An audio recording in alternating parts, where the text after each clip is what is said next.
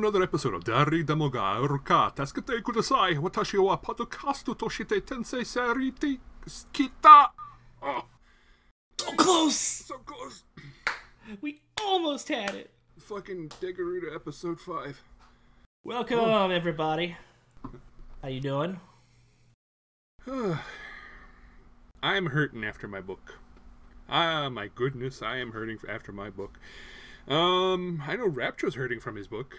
My so I've actually had to downgrade somebody uh, close to me who who I, I once thought of as a friend, and they've now been made an acquaintance for recommending this book to me. Damn! That's very harsh. All right, so It, it's not once I get to talk about the book.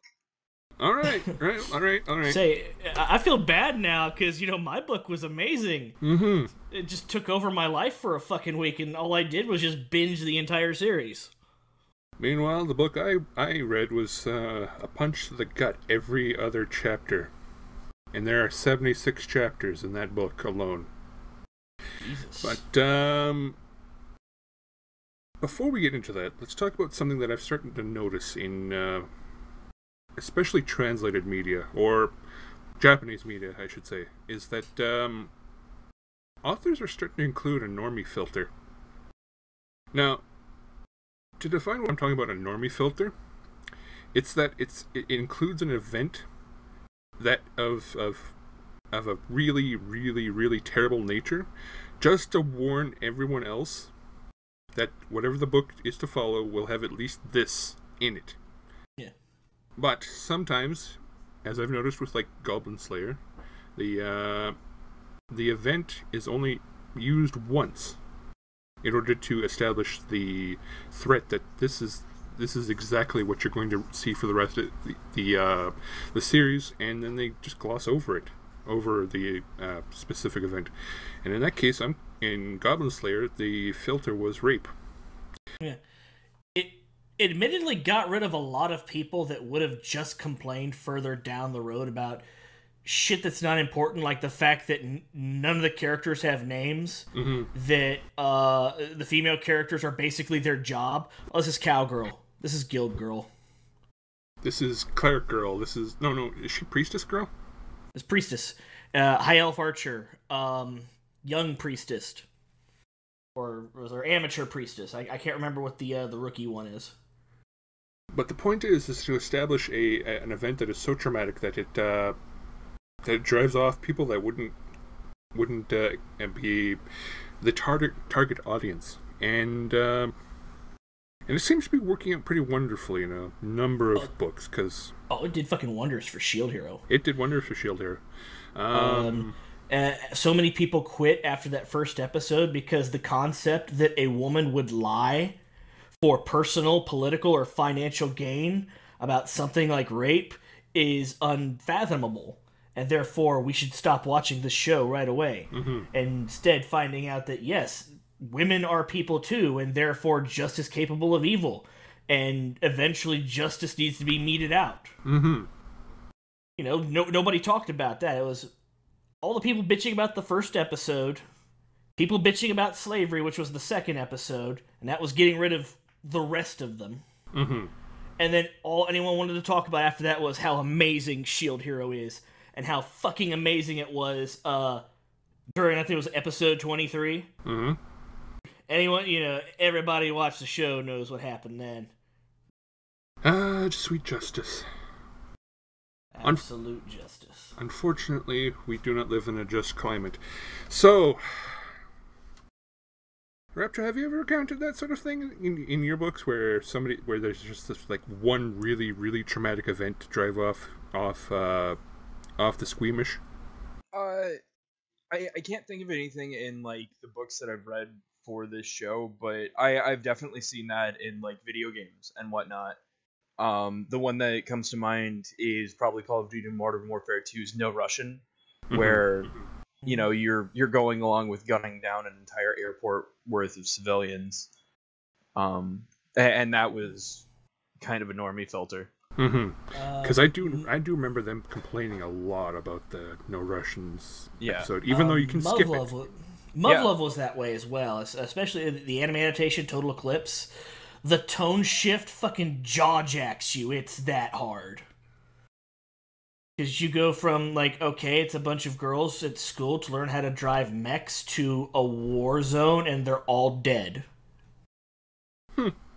You've got, like, all of your, char- your, your classic school character tropes. Mm-hmm. You're like, okay, th- th- this one's gonna be best girl. Holy shit, she's fucking dead. Oh.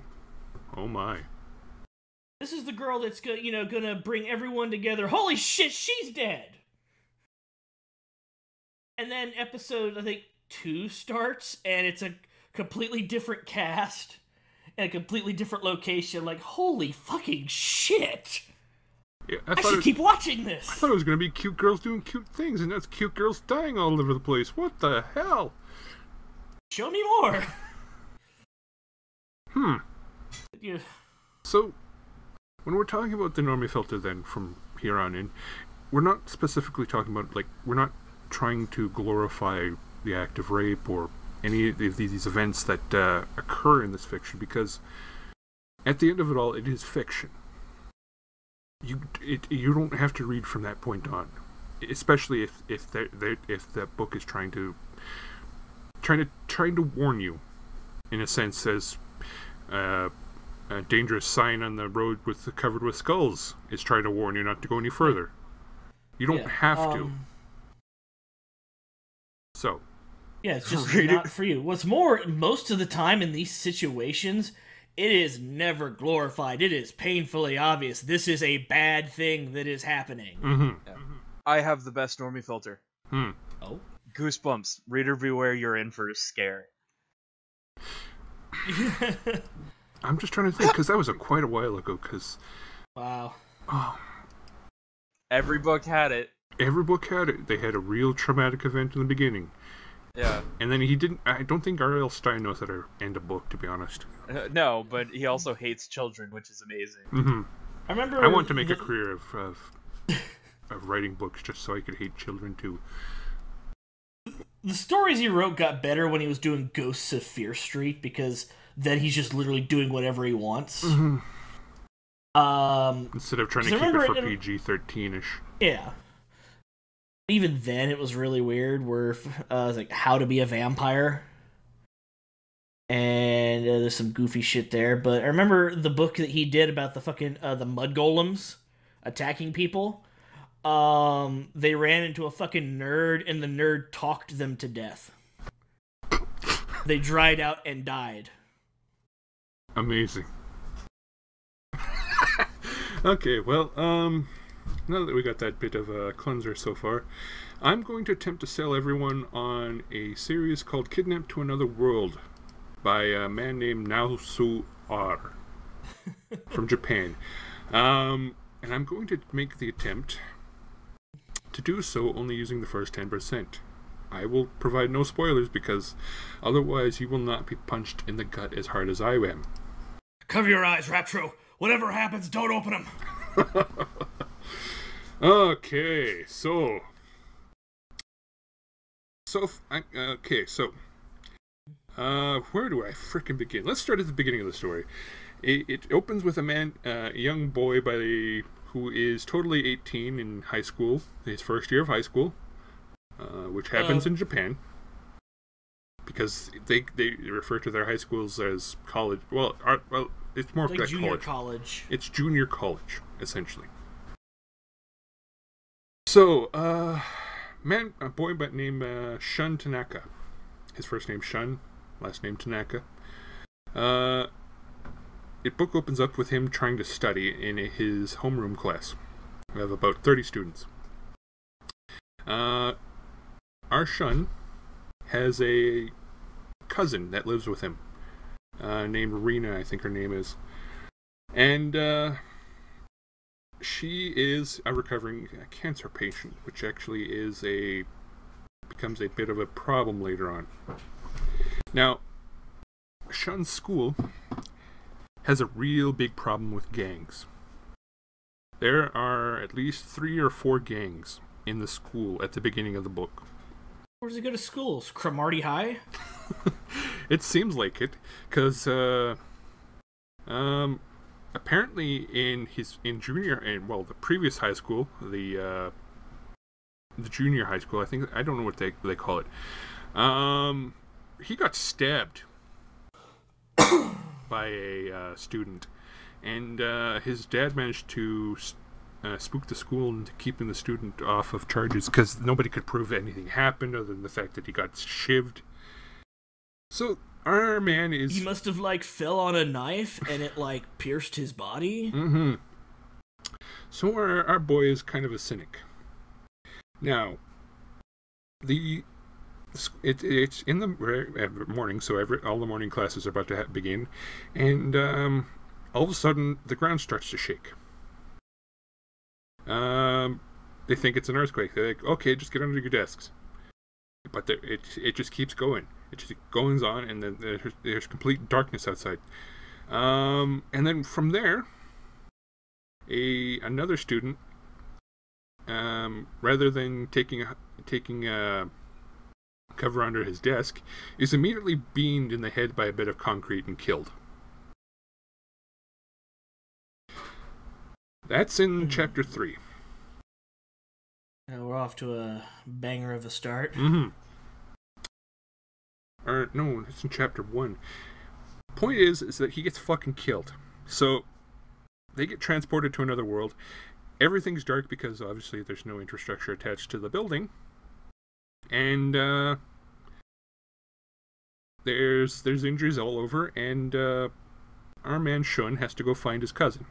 So he approaches his teacher, who is described as a essentially a porn star, uh, to help him and this one girl named Yumi, who's in love with his cousin, to go rescue his his sister from uh, well cousin, his sister, for all purposes of uh, the tropes, to go see if uh, she's all right, and she's up on the third floor because she's about two years older than him. So there you have to go through these this damaged infrastructure of this school, and there's just cracks everywhere. And um, halfway through the trip up to the the uh, the third floor, he managed to find himself a uh, a fireman's axe, the only fireman's axe in the entire school, because uh, it used to be in Japan that you could trust uh, kids to have a uh, a big metal instrument in a uh, wall just so you could break down doors if you need to. And this is important because um, as soon as they his little party of this uh, Yumi girl, uh, the teacher and himself reach to the third floor, the older kids in the gangs have uh, murdered one of the teachers and are have taken over the classroom in which Rena has has has lived is has has her class in. And um, all all the boys that aren't in the gangs, they're being beaten to death. And there's a big fire in the room. It goes very Lord of the Flies very quickly in this book. And um, so he demands where his cousin is, and uh, they're terrified of the fact that he's willing to just chop hands because he, as soon as he sees someone about to uh, rape a girl, he chops his hand off, and then he uh, threatens even more people to find where his cousin is. And it turns out it's one of the leaders of the gangs that was uh, rejected by uh, Rena. And uh, so they get into a fight. He tries fighting him with a with a chair Meanwhile, his rest of his gang is trying to help him. Uh, eventually comes to the point where he, he hits him with the spike end of the axe and kills him. And he discovers that Rena was in the process of almost being raped. She wasn't raped though. She was almost raped, so she was like uh, Tori Amos in that regard. Um, so they get her they get her clothes on, and uh, they they try to go downstairs again because uh, at this point they're trying to figure out whether or not they can survive in this wherever the hell they've been taken because it's night. It's nighttime. So they're heading downstairs, and uh, our man Shun has started to gather an even larger party because he's the only one with an axe, and everyone else is trying to, you know, uh, be safe. So they reach the second floor. And then they start looking outside, and people are noticing that there's things coming in. Humanoid things. So they start getting to the first floor, and the windows are starting to get pelted with arrows. All the windows. And then they start seeing that the first year schoolers on the on the on the uh, on the first floor are starting to get kidnapped by fucking orcs. Big pig faced orcs. Now, I don't want to go into the details of the, the orc ecology, but it, they do go into the details later. And that was a punch in the gut, especially as, re- remembering this part, because at this point, most of the of the people on the first floor are either being kidnapped or killed because uh, they're the orcs are predator predators for humans, but they're also a parasitic species, and they require human females to uh, procreate. So they uh, so Shun and his, party, um, now missing a couple men because uh, at least one guy was an idiot, they immediately just make the the decision to flee back to the the upper floors and decide to reinforce a, a, a classroom just to uh, just so they would have a fighting chance. Uh, at this point, um, they struggle to fight to get to the, the third floor and they look for volunteers. They send a guy out to go tell the second floor the second floor kids to basically fl- flee upward as quickly as you can. And uh, they reinforce the roof they reinforce that the classroom because the roof is the absolute last place they can run. So they build a barricade at the desks and at this point, a drunken uh, teacher from the shop class has shown up to and doesn't believe that they're in any danger, and is wondering why Shun has an axe. Shun says, We're in fucking danger, we gotta go to this classroom. Says, Okay, fine, we're gonna get as many weapons as possible. So they start gathering as many things as they can from the various closets and janitorial stuff to essentially make clubs and spears and pokey things as possible. Yeah and um, then they prepare for a siege. Uh, at this point, some more of the, the students from the second floors are starting to come up, but on their heels is a patrol of orcs. Now, the dialogue in this is a little weird because it's one of those books where it where the crowd talks but no one's like attributed to the uh, source. It's not. It's never like uh, Shun says or Ringa says. It's no. It's just like, uh, uh, oh my God, there's orcs. Oh my God, there is orcs coming up here. What do we do? Oh my God, I don't know what we're gonna do. Shun, save us. And uh, meanwhile, this whole time, everyone is trying to steal his axe, and he doesn't want to let it go because it's, it's the only axe as far as they know. Let he who grabs this ask, be they worthy, wield the powers of Odin and be embodied by them. um, so, and also, combat is brutal because it, in order, uh, it's not, it's never described as. You, it, the difficulty of combat is described by how many people are dying. So, the orcs chase them into this classroom and they they they're trying to fight them through this uh, this little gap that they've made, and uh, they have a couple students using desks as shields, and uh, and uh, they have two two heavy hitters so far. One guy with a real big orc spear, and one with him and uh, Shun, and and he, and everyone else has to more or less uh, throw things back at the uh, at the orcs as they're coming in and hold the line. So they handle the orcs pretty well for a little while, uh, only getting injured now and then. And within a couple chapters, about one or two kids die every every other paragraph. So they're holding together pretty well. Or I should say, they get injured or killed.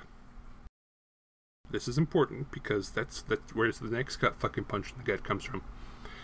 So the injured get moved to the roof, and everyone else is, is has to fight.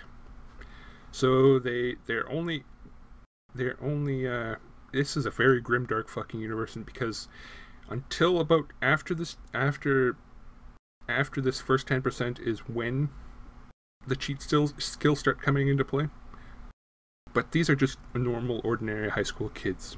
The only thing they have are maybe judo as the one kid that has uh, has judo training and is armed with the orc spear and everyone else is just your bog standard high school kid in their last year.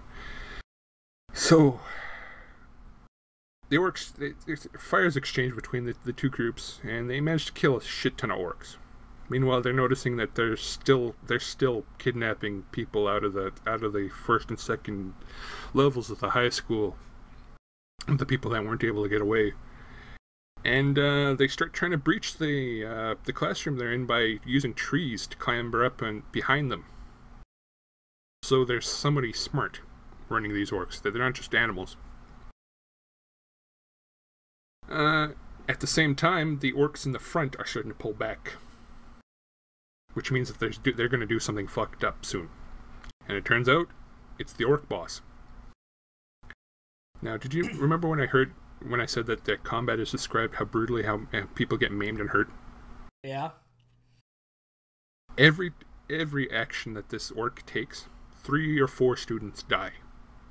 Dude, it's like fighting fucking Cthulhu in like the, the D20 version of Call of Cthulhu. Every fucking turn he just kills like 1d4 uh, players. 1d6.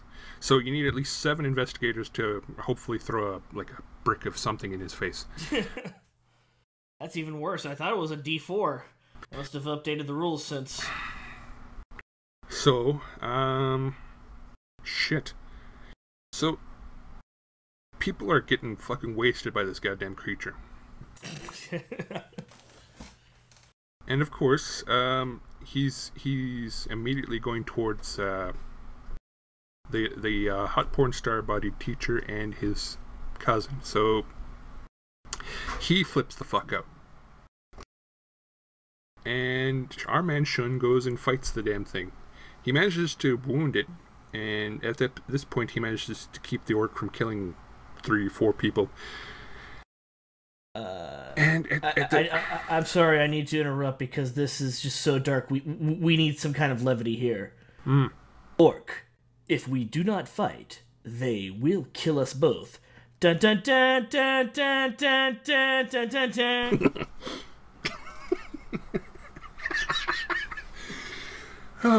Continue. So he's finding this work because there's he's so fixated on kidnapping uh, his teacher. I, I, I, I remember her fucking name. Uh, da, da, da, her, her, name is Boobs McKenzie. Asakura. Her his, her name is Asakura, and her, the teacher's name is Asakura, and his sister's name is Reina. Like Asa so, Akira, the, the, the the actual porn star.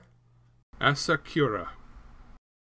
Uh, so I, I know what you said, but that sounds like the name of an actual porn star. You know what? That's probably where he got the name from then. Asa Asakura. It's a Asa Akira. so anyway, he's he's fixated on kidnapping Asakura for you know, orc ecology reasons. At this time, the the shop teacher arrives to with a bundle of flaming something in his hand. He made an IRA bomb, and he charges the orc with it. At this point, he blows himself up, kills the orc boss, and everyone's knocked out. That's how big the fucking bomb was, but it kills the orc. Um, and it's at this point, with the death of the uh, orc boss, that the cheat skills start being activated. And there's only two people that can read it. Not Shun, some other guy named uh, Yuki, and uh, another little another little lady. Out of a school of 900 students, By the end of the first day, there's only 97 of them alive, as far as they can tell. 97 left to go. By the okay, well, I didn't say there was going to be any spoilers, but it's. I'm not going to explain. I'm not going to go further than that. Yeah, so this book fucking rustled your Jimmy something fierce. Yeah, it sounds like it. Uh, part of Shun's cheat skill comes from the orc's loot, and it's a box that ha- it's basically a box of holding. It has a secret to it that is uh, that if anybody knew about it, it would cost him his life because they would kill the kill, kill him to have it. It's bad enough that it's it's a box of holding that can hold forty of whatever you want inside of it, but that It, it is a It, will just hold 40 things regardless of volume, just 40 things. Mm-hmm. Forty things, regardless of volume. Okay. That's Or no, wait, no. It's described as it, it, certain objects make up uh, take up more squares. So it's it's it was thought up a little bit better, but Ah. but the secret is another punch in the gut. This whole book is one punch in the gut every other chapter, and I solely recommend it on that that regard. In that, if you like a book that punches you in the gut every now and again, to uh, go deal to read this because uh, holy shit, it will punch you in the gut. Especially when they describe orc ecology, and um, the breeding pit is that one sets you off like really hard. yeah, You really needed somebody to talk to about that. And I I couldn't let that one go. I I, I couldn't because um, the normally filter was just enough to keep me going. I knew I was I, I knew what to expect from this, but I wasn't expecting that. So, I, s- I wholly recommend that fucking book. You can find it on Amazon for about a buck. the question is, do you do you want to? Mm. That's holy shiz. I, I I'm struggling to find some way to bring levity to that description. That that's fucking rough. Yeah, that's almost like a full on like horror isekai or like existential dread isekai. Mm-hmm. Yeah. It does get better because Shun. Okay, so I will give hope to people in the form of a big few spoilers. Shun does get the only instance of of a good soul's a a good soul's cheat skill, in that he's the only one in the in, in the whole world that is known to be able to heal. Oh, so so he gets an Estus flask. Kind of. Well, no, no, no. He doesn't. Re- he, he can regenerate himself, yes, but he can heal other people. That's the only people that can. He, he, that's the only skill he really gets at the start. That gives anybody hope after that point. And there's something about this the the world that he that exists that makes people awful. And it it just people being awful seems to be like the whole theme of this book because uh they start going crazy, crazy with uh, with uh, whatever little power that they have, and uh, it kind of fully explains why they uh, they went Lord of the Flies so early on. Like, could this be like some some Dark Souls fan fiction? It is very grim dark at the start, but it slowly, slowly goes towards noble dark. Very slowly, but it it it it will punch you in the gut every fucking step of the way towards noble dark. So, that's as much as I want to focus on that book for right now. That's all So- I have to say about that. Javier, Right. your book. What was it? A Riviera? Uh, Arifureta, from Commonplace to World's Strongest.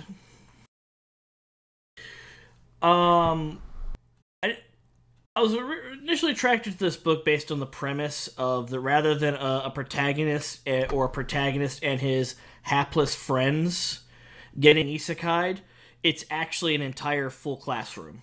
hmm I'm like, okay, I haven't seen that before. And then, of course, Mike shows up with the whole fucking school. I'm like, well, shit, I can't beat that, can I?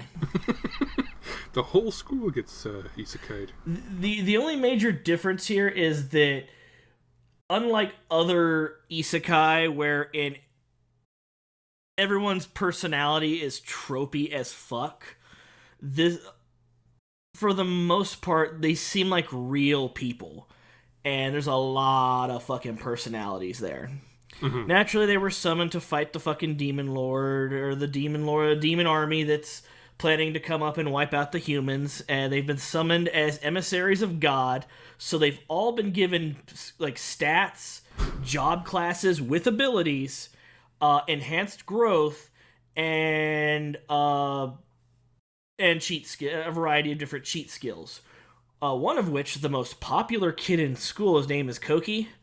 Um, he's uh basically given the job class hero so he gets uh so the na- the nation gives him like from the uh national treasury fucking holy relics he gets a holy sword enchanted armor and everyone is basically given shit that works for their job class and they find this out by uh, focusing mana into these magical plates that fill out with their personal information and uh, an approximation of their stats. Mhm. And how this works is your your level doesn't make your stats; your stats actually make your level. And the idea being that the level cap is 100. Um, as your stats increase, your level adjusts to show you how close you are to your full potential. Everyone gets combat jobs except for our protagonist, who gets a crafting job, Synergist, which is used for crafting and blacksmithery. And he is bummed out. You see, he's actually kind of the punching bag of the entire class Mhm. because he shows up to school to go to sleep. Because it turns out his dad is actually a well known game designer and he's always helping his dad with shit. And his mom is a mangaka and he's acts as her assistant when he's not helping his dad. So basically, he's kind of got his career prospects already figured out for him. So he's not. He, he's going to high school as a formality. Which is hmm. and it pisses all everyone else off because they think that uh, He's too good for them. he's too good for them or that uh, he's not taking shit seriously and he's a good for nothing. Well, this on top of the fact the cutest girl in school is always coming over to talk to him because she's always pushing to bring him into the conversation. Mhm. Offering to share lunch with him because he shows up, he's got some sort of gelatinous snack he downs in three seconds so that he gets his, you know, protein intake for the day and then goes back to sleep. And uh, basically, everybody's always shit talking him. And he comes, once he travels to this other world, he's like, okay, may- maybe things will be different here. He has the lowest stats of everyone in his class. And they're bullying the shit out of him, doing that thing where, hey, we'll come over here, we're going to talk to you over in this dark corner where there are no cameras and just start you know punching the shit out of him and throwing fucking attack spells at him. They're just bullying the shit out of him. Well, they decide to go and do a dungeon crawl Mhm. at this uh, legendary labyrinth that's like just south of the capital, and it's supposed to be a hundred floors deep. The deepest anyone has ever gone in the history of the nation is floor sixty-five, and it's been like two hundred years since somebody's gotten that deep. And there's there's no gimmick here. Like the floors don't change every day. It's It's just dangerous. It's just dangerous because the mobs all respawn. So it's all well mapped. Um, they go in there and they're getting uh they're doing fairly well with some basic training. He's actually gone to the library, studied up on the country, and started trying to think outside the box. He's like he's got one skill called transmute. So he can use that to make stuff, but he can also pull ores and minerals completely out of rock. See, that's useful as shit. So he starts taking outside the box, and now he can make pitfalls. And all, all the knights that thought he was just gonna be fucking dead weight are actually super impressed because they never thought of that. He's making pitfalls, and then he because he can't really form spikes sharp enough to kill the monsters. He can form enough to keep them, you know, held still, so he can just sit there and stab the shit out of them. So he's still getting killed, but you know his uh, experience points for killing. Um, he's still getting experience. He's doing all right. Um, or, or fucking uh, uh, legendary hero accidentally throws an ultimate skill that damn near brings the cavern down, and uh, they yell at him for it. He's got an overbearing sense of justice, you know. Like, always like, you know, we must always do what's right because it's the right thing to do. You know, the, the kind of attitude that's going to get people killed. Mm-hmm. In fact, when they showed up in the world, they said, You've been summoned here to fight the Demon Lord. He's the one that said, Okay. And then rallied the entire class behind him to fight the Demon Lord. Their teacher, who is there, and she's one of those um, uh, mid 20s teachers that has a small body, so everyone thinks she's a kid. Mm-hmm. Uh, is like begging, no, you, you can't do this. You, you have no idea what you're talking about. But it's too late, you know. The fucking pope of the local reli- religion has already convinced everybody, yeah, let's go fight the demon lord. That'll be fun. Mm-hmm. Well, um, one of them triggers a trap, and it get, teleports them all to the 60th floor. Oh no. And a fucking monster shows up and uh, an endless spawning mob of skeletons and they're like all on a bridge. Isn't isn't the big monster that shows up the behemoth? yeah the behemoth. Yeah. and um, they throw everything they have at it and it all it does is make it pause. They don't even scratch it. Um everyone's you know their formation's falling apart morale's falling apart um somebody's about to get killed but our weak ass protagonist manages to pull shit together he's like hey you know you got you asshole and he's talking to their fucking uh, Koki. he's like you need to go over there and rally people what you're their fucking leader dude they need you quit fucking around with this monster and go lead them Yes, but the monster is here. We must stop it. We can't let it get away. Fuck you, I'll do it myself. And um he starts helping people with his fucking transmute skill by like transmuting a ramp underneath um some of the skeletons so they all just slide off of the fucking cliff. And that is enough to get people to start coming together and rallying. And um eventually he's in a position where he, he tells the knight commander hey i've got a plan we can get everybody out of here but um i'm gonna need you to do some shit so i can get out of here when we're done. You can have faith in me little one. We've got this. And his plan is he gets on the behemoth's head and transmutes it into the fucking rock. It's gonna fight it and try and break out and it's very capable of doing it but he's just gonna sit there and you know, just chug mana uh, potions and mana items and keep transmuting it deeper and deeper into the rock. And the idea is this means that everyone only has to worry about the skeletons. They can then, you know, head towards the fucking exit. And once they've all grouped up, they're supposed to shoot uh, off attack magic like an artillery line uh, to clear the way so he can get out. Hmm. Well, later, earlier that earlier, let's say a day earlier, uh, the cutest girl in school went to his room in an, a really, really uh, sexy negligee, according to the book, and try had a moment with him. He's not interested in her at all, No? at all, Wow. and she doesn't realize that she's interested in him. And she had a bad feeling. There's like, uh, you know, I got a bad feeling about this. And he says to her, "You always say that, Frost. You always say you got a bad feeling about this drop." And um, basically, he does like, "Well, then uh, you protect me, and that'll make you feel better, right? Sure, okay." And then she leaves, but somebody was watching. Somebody that doesn't like what he saw. So as he's sitting there, making a fucking break for it as the behemoths break breaking free while they're firing off the artillery to let him uh, uh, get away. A stray fireball leaves the rest of them and smashes him right in the face, exploding and throwing him back. So he falls into the pit with uh, the behemoth. That's probably not good for the behemoth. No, it's not. What's more is that um,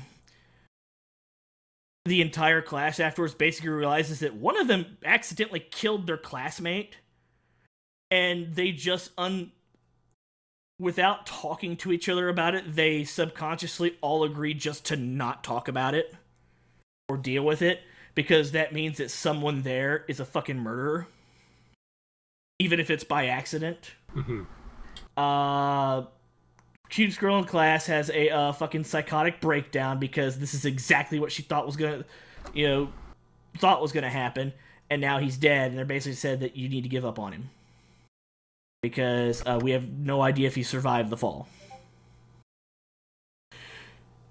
He's at the bottom of the f- eh, okay. He's at the bottom of the abyss, and uh, there's fucking like high level monsters everywhere. He's basically like I think floor 100 hmm of this 100 floor uh, super dungeon. And everything there is trying to kill him. At one point, a fucking like a, a cross between like a badger and a bear shows up and bites his fucking arm off. Nice. And he's struggling to get away. He's using transmute to dig like a tunnel in the rocks where it can't reach him. hmm and eventually he runs out of mana and he passes out. Uh, he wakes up and there's a substance dripping into his mouth and he doesn't know what it is, but he's surrounded by enough blood. He's like, Did I fucking bleed out? How the fuck am I still alive? The human body only holds so much blood, and I think this is all of it. Well, transmitting a little bit further, he finds this big fucking rock that uh, he would later call uh, find out's called a divinity stone. It just all it does is it just soaks up mana and stores it, and it's actually been out, you know, dripping out this substance uh, that called ambrosia, which is basically like the ultimate healing potion. It cannot regrow limbs, but it will heal most injuries. So our man's has been drinking this unconsciously for however long he's been out. Um, he's basically he basically subsided on it for about two and a half weeks until because he was convinced that you know he was just going to starve to death, Mm-hmm. and uh, it was he was subsiding on that until finally uh, the starvation madness got to him, and he decided no no no we're, we ain't going out like this. So he goes and he hunts some fucking wolves, and um, they're too powerful for him obviously, but he's like um, he also learned that this shit will restore his mana. hmm So he just basically just sat there transmuting the same spot 24 7 while just ch- chugging a little bit of this to refill his mana until he got so good at it that he started getting derivative skills. Because that's how your skills work here is you do them enough and um, obviously you get better, but you also get new skills that are in the tree. So he makes some pits, you know, traps the wolves down there and fucking kills them and brings back fucking right, starts munching raw wolf meat. Then he starts fucking dying horribly because as it turns out monster meat is horribly poisonous to anything that tries to eat it. Uh, so he downs some ambrosia and he's basically begging something to come from somewhere and put him out of his fucking misery because the pain is that intense. And they then describe it as thus when you exercise and you tear your muscle, the muscle heals tougher than it was before to overcompensate. So, in the process of the monster meat killing him and the ambrosia trying to heal him, um, it basically tore his body apart, put it back together enough times that it forced an evolutionary change in his body. Oh no. Uh, his hair his hair is white. His eyes are now red. Uh, he's got like a protagonist look about him. Now, uh, he grew like 15 whole centimeters. Um, he also gained the skill Iron Stomach, which allows him to basically eat monster meat. But he also gained an ability from the wolves, which is to project electric fields. And he learns that now every time he eats a monster, uh, he can gain like unique skills from them. That sounds like it'd be uh, that'd be beneficial. So he basically becomes the predator of the uh, of the labyrinth, just stalking the floor, hunting shit, eating it, taking their fucking skills. Uh, he fights the fucking badger bear. R- he unintentionally like rips its arm off and starts eating it in front of him, just as a big fuck you. Which is what you do. Um, but his transmuting skill also gives him like uh, a praise and ore sense. If he finds a new ore, he instantly knows what it is and how it works and all of its properties. So he finds this uh, ore called Blast Rock, which uh, he runs it through his head enough times to realize if I find, you know, if I file this down into a powder, it's gunpowder. So he transmutes a fucking gun. he basically assembles from scratch a fucking gun from the, If- the toughest material he can find. Oh, and the barrel is such that when he channels his electric field through it, not only is it a fucking, you know, a projectile, normal uh, chemical projectile, it's also a fucking railgun. Is it? Doesn't it also look like a fucking Dirty Harry revolver, from what I remember? Uh, it look it it looks like a combination between that and a gun from Trigun. Okay. Like it, 'Cause- it, it, it looks like a fancy sci-fi revolver. Uh, if, if I had to, kind of like a hand cannon from Destiny. So he starts going through. He can't go up. There's no stairs up, so he has to go down. Comes to find out, the 100 floor super dungeon is actually 200 floors, and in the process, he eats a bunch of fucking monsters. Uh, he gains a bunch of fucking abilities. Uh, he builds an anti-material rifle that he fucking one arms. Because that's what you do when you, you're forced into the worst fucking situation possible. Uh, uh, he meets a vampire lolly princess who's been trapped down there for 300 years, and they fucking team up to get out of the fucking dungeon. And eventually, they they do, and it's like the toughest fucking fight he's uh, he's been through. Like he's like the ultimate fucking predator of the labyrinth, and the the, the final boss of the labyrinth fucking wrecks him hard to the point where one of his eyes is melted in the eye socket, to where the ambrosia's not gonna fix it hmm and um come to find out the entire labyrinth was a test. And for passing the test they are granted the boon of creation magic which is a lost art that nobody remembers. All the spe- the, the sacred artifacts that have like magic built into them and crazy shit. Nobody knows how to make those anymore. Those are all like leftovers from the quote unquote time of gods. He knows how to make that shit now. Oh no. Yeah. So, um, he makes himself a, a robot arm because he can do that now. Mhm. Because there's nothing saying he can't. Uh, he takes the Divinity Stone, which is now like he sucked that thing dry because every floor he would fight and then just you know drink a bunch of this ambrosia. Uh, he tur- he turned it in because they could store mana. He turned them into fucking uh jewelry that as your mana naturally regens, it's gonna fill these up, so they act as like backup mana sources. But he also made a fake eye, and now he can see the flow of mana. He can see the cores of spells. He builds a second revolver. He names all his shit like German names. His pistols are named Donner and Schlag. Uh, his anti-material rifle is Schlagen. Uh, he builds a motorcycle and a fucking Hummer. And come to find out that there are. He doesn't care about the world anymore.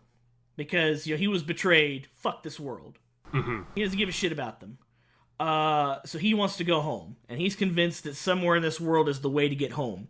Because the Pope basically said, yeah, once you beat the demons, then surely God will send you home. That's not a guarantee. It's not a guarantee. So um, he and the Lolly Vampire Princess decide they're going to go around because there's seven labyrinths in this world made by these seven guys that were fighting against the gods because the gods are fucking assholes, as it turns out. Uh, basically, this huge fucking war of extermination the demons got going against the humans. It's the gods just playing a game for funsies. And they do this every couple hundred years. Just all of a sudden, a race that what was wasn't doing anything to nobody. All of a sudden, there's a war of subjugation and extermination on them. Wiped out the fucking dragon men. Uh, all sorts of other crazy shit. Wiped out the vampires. Hmm. Um. Oh, and um, our protagonist very much is. Uh, I, I like this girl, but it's really weird because she's like 300 plus years old, but she looks like she's like 14 or 13, and uh, because she's got a fucking uh ageless body. And he's doing that weird thing, like I, I like her, but would, what would people say to me? Uh, she fixes that for him by just uh mounting him and just taking the uh, taking the dick. She's not waiting for that D. She's taking the D. Mm-hmm. And now their uh their sex life is very much um described as every time they get a free moment, they're going at it. Nice. Uh, so of course he meets a, and that's kind of where, where the story goes. Uh, um, shenanigans ensue. Uh, he pulls out fucking high tech weaponry that he's developed with uh, the magic he's been given uh, to solve all his problems. Um, and it some things of it get like so in, insane later on. Uh, he meets this fucking dragon, and because he heard a story that the the dragon race, uh, they were so armored, the only there were only two soft spots on their whole body. It was like the the inside of their mouths and the eyes, uh, and their anuses. So uh, he he pulls out a fucking pile bunker uh, out of his fucking uh, a, a ring of holding. It's basically just a clo- uh, extra dimensional space generated by a ring that holds all his shit. Mm-hmm. And um, the dragon wiggles free uh, before he can fire off the fucking uh, uh the rod. So he grabs uh, the dragon's like kind of like down, like catching its breath, and he goes and he shoves it up the dragon's ass. He starts smashing it in there, and all of a sudden the dragon's like begging it, "Please stop! Please don't do that! No, no, no, no, no! Please, please, please don't!" Come to find out that um, the dragon is a woman, Oh. and uh, the dragon was actually being mind controlled when they were fighting it. And uh, the dragon is almost out of a mana and is about to assume her humanoid form. Please take out the fucking pile out, or I- I'm gonna fucking die. Uh, Lolly Vampire says "I- it's okay, you could pull it out. So he just kicks this some bitch out in one motion. Is not gentle about it at all. So when the dragon reverts to her humanoid form and she's like milf sexy, Mm-hmm. Like just a hot ass milf. Now she's a super fucking perv because she had no idea, you know, the ecstasy that abuse like that uh, could bring to a person. And slowly he's building a fucking harem of weirdos. And he's constantly telling like, uh, I'm not interested. He's got this fucking big titty uh, uh, rabbit girl hanging out, you know, clinging onto him. And he keeps telling her, uh, I'm not interested. He's actually used her as bait before by throwing her to monsters. Because her body is, like, so, like, nearly invulnerable because of uh, uh, an ability she has. Mm-hmm. and it's the anime adaptation did come out and i've seen clips from it and episodes from it and it does not do the book justice Hmm. Well, it can't be helped, I guess. Um. I i, I fully recommend this thing mhm. um just because there are so many scenes in there that are just so fucking funny like the fact that he he becomes big boss at one point training the fucking rabbit men into fucking elite uh, assassin commandos Oh, brutal. So, What? Their their leader gets captured at one point, and they they overhear him being tortured, and you know he's fucking taunting the people torturing him. He's like, "You call that a punch? Put your fucking back into it, you pussy!" To the point where, where the torturers feel weird about torturing him. that's the only way you can get you, you can handle it. Uh, from what I found, Is that you, you got to make them feel weird for doing this, not not not you. So, with that uh, bit of uh, palate cleanser, uh, Raptro, what the hell happened to you? What did you read? Batsuri san de musu shitatara mote mote ni narimashita. Uh, didn't get a proper English translation of the title, so I had to get it myself. Uh, my harem is of semi-human girls. Uh, oh, hmm. uh, they oh, no. they never gave me a fucking translation of the title. I only figured it out after I had uh I you know what? I read all 31 chapters that are out currently uh cuz it is manga and I thought it would get better. It didn't. Um this is like Mon Musu but worse? Uh sort of. I, I I would say considerably a lot worse. Um so we we don't get an explanation of why our protagonist is picked to go to another world, but they are. Um, their cheat skill is that they're amazing at everything. Um, oh, cheat skill. Oh no. yeah. And immediately, uh, he's attacked by thieves, beats all of them, leaves them alive, but they're all animal girls. Um, so the dog girl that's part of the group pisses herself and then pledges loyalty. I really want people to stop suggesting things to me where people piss themselves. what do you um, What do you think they're trying to say? I don't know, but uh, yeah. So it it continues on. Um, he, eh, he goes on a few like minor adventures. Uh, there's one where they they're traveling like a labyrinth and they fight a bunch of chimera and he meets like uh he he kills a bunch of like soldier ants that are like rank D enemies that somebody like who just joined the guild shouldn't be able to beat. So they're like, oh well, we have to test your skills. So he fights against the little lolly dog girl that runs the guild, and because he beats her so resoundingly, she's like, okay, you're my husband now. And Does she pee on him? Yes. Ah, you're in luck. Uh, so uh, it, and at this point, sex hasn't happened, right?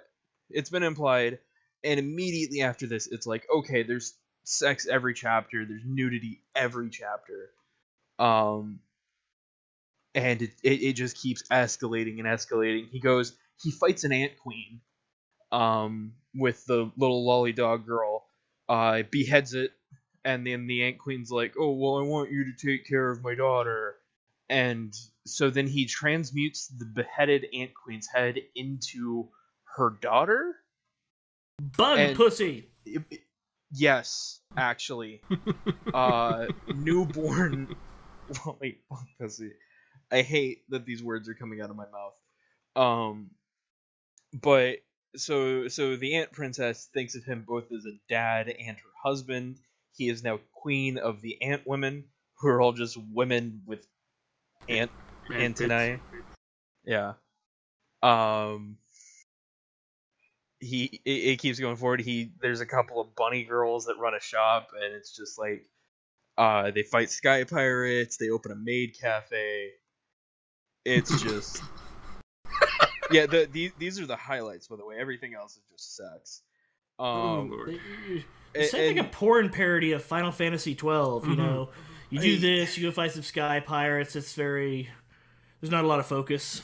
Yeah, it re- not a lot of focus actually describes a lot of this book. Like it's not it's not like as garbage as uh, my my house in another world or whatever the fuck that one was called. but this is like purely an excuse to get this is you know borderline pornographic because of all the censors. Um, but you do see a lot of titties. Mm-hmm. Um, and and then uh, as far as like chapter 31 has come out it's called happy ending um he uh by by this point he has a harem of like 16 different fucking uh semi or demi-human girls or whatever. There's a succubus there's the rabbit girls there's a dog girl there's two cat girls. Does he call his bedroom the san diego zoo? I no, that would have actually been a decent joke. Uh, that there's no decent jokes in this, by the way, or at least none in the uh, translated manga. Uh, I really don't recommend this. I really, really don't recommend this. Hmm. Um, I, I, I, said before, like, the person who, who, uh, recommended this to me, at, was at one point in my life a friend, and now they are an acquaintance. Um, and you don't trust acquaintances for books. I don't trust acquaintances for recommendations. I made Um, I made this joke earlier, but I'm gonna make it again. Ah, you're looking for books about going, you know, isekai. Well, you're in luck. yeah the the biggest conflict the protagonist in this faces is the moral dilemma of is it okay to keep having sex with all of these demi-human girls and marry them all that is it there is no like this is rough i'm getting my ass kicked it is just is it okay to get married to like 16 women nice. he has he has no intentions of going back to his world. He doesn't give a shit, right? He is getting strange animal fuzz on the other side. It is. It, I, I I opened a chapter while reading this. Uh, one of the later chapters. Uh, I think it's yeah, chapter twenty-seven, wife or mistress. Mm. right? Yeah. Uh, I'm I'm we're gonna do this live. I'm gonna count how many sex scenes are in this. Just just this one chapter alone. Just just this one chapter alone. Relatively late, right? Uh, one, two, three,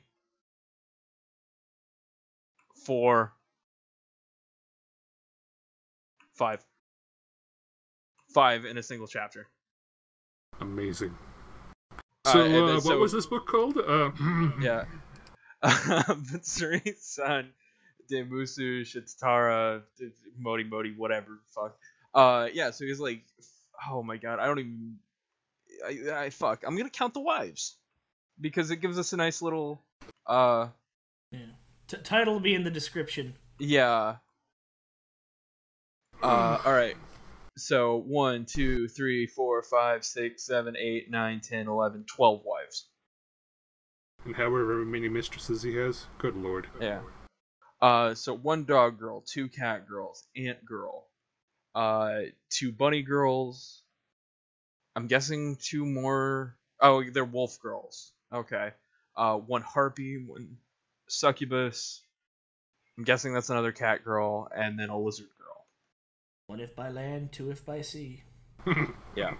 So it, it really is just like if you're horny on main, this book's for you. If you're just you know, a regular functioning human being, uh go look at actual porn. I'll say because it seems to like there's better monster girl porn out there than this. Yeah. the sounds of it. Yeah, like Mon Monmusu actually like teases shit. This is just like Oh. porn for the sake of I'll porn. say because Monmusu, the, the characters are the draw because they're all endearing. Mhm. Yeah, they're all waifus. This is all. This is all like, um, God, what is that? That one thing with all the the animal girls in like the forest and like he, the kid is like traveling. Monster Girl Quest. No, Um, it's not porn. Uh, it's the one where that penguin got like really attached to the anime penguin girl. Oh, Kemono Friends. Yeah, that, that basically this is like Kemono Friends but etchier. Like, what if, what if you could theoretically fuck the jackal? That that is that is what this is. Uh, that's what that's what Danbooru is for, Yeah. or Gelbooru. So it is. Eh. It is, uh, yeah, something to leave the flicking episode on. So, Yeah. anyway, we have uh, Kidnapped to Another World, Arifureta, and, uh, oh boy, what our poor man's Raptro got thrown into. Um, I'm thinking we've done a lot of Eastern isekai Mhm. uh, last couple weeks. I mean, uh, hell, you, I think it's funny that Arifureta turned into uh, Metal Mage, hmm which I think is hilarious. Let's uh, let's do some Western stuff. Yeah. Um, I got a couple things in mind. Um, either so, you know, some uh, Edgar Rice Burroughs or some uh, Heinlein or some uh, Asimov. I'll continue as I am with uh, looking on Kindle stuff. So I will talk about God of Magic. That one was interesting. Um, and then Raptro, my poor bands. I don't know. Hmm. We'll figure something out for you. I I guess I'll I'll find something worse to read. Um, well, you, you can find something to watch. Oh yeah, If, sure. if, if, if it only has like a, a TV adaptation or a movie or an anime adaptation, or if it's just like a comic book. yeah. I mean, Uh, as long as it fits the theme, right? yeah, Yeah. sure. So, this was an episode of Degaruta. Uh, thank you for watching, and these are your hosts, uh, Xavier, Raptro, and me. Uh, see you until another fortnight-ish. Later. All right. I love Fortnite. Oh, God.